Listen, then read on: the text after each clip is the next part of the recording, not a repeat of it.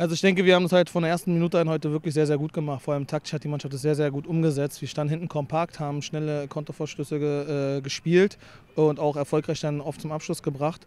Von daher können wir mit unserer Leistung heute sehr zufrieden sein. Ich denke, heute hat das Herz gewonnen. Also die Mannschaft, die mit Leidenschaft agiert hat, hat heute auch verdient dieses Spiel gewonnen. Ich denke auch in der Höhe verdient gewonnen, wenn man überlegt. Ähm, in der ersten Halbzeit noch unser Pfostenschuss. Wobei man auch sagen muss, wenn Blau-Weiß einen Ausgleichstreffer kurz vor der Halbzeit erzielt, im 1 gegen 1 gegen Robert Schelens, den er überragend hält, dann wird vielleicht das Spiel anders ausgehen. Aber Härte gibt es im Fußball nicht und von daher sind wir sehr, sehr zufrieden, wie wir heute agiert haben als Team. Und ja, darauf lässt sich weiter aufbauen.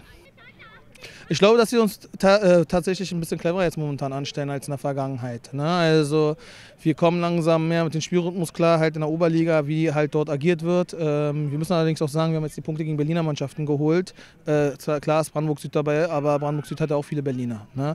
Ähm, trotzdem unser erster Heimsieg in der Oberliga seit 20 Jahren, kann man auch nochmal sagen. Und wie gesagt, wir sind sehr zufrieden, wie wir es heute hier angegangen sind. Und ähm, die Mannschaft hat das sehr, sehr gut gemacht und da kann ich mir nur, äh, nur meinen Hut ziehen vor. Vielen Dank fürs Zuschauen. Wenn euch dieses Video gefallen hat, schenkt uns einen Like und kommentiert dieses Video. Um kein Video mehr zu verpassen, abonniert unseren Kanal oder ladet euch einfach die KickTV App herunter. Vielen Dank fürs Zuschauen.